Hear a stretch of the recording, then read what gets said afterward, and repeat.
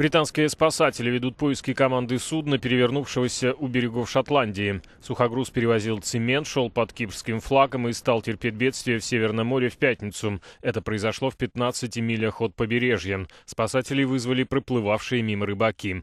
Известно, что на борту находился экипаж в количестве восьми человек. После начала спасательной операции никто из них обнаружен не был. Есть вероятность, что люди успели пересесть в шлюпки. В поисковых работах задействованы два вертолета и четыре спасательных судна.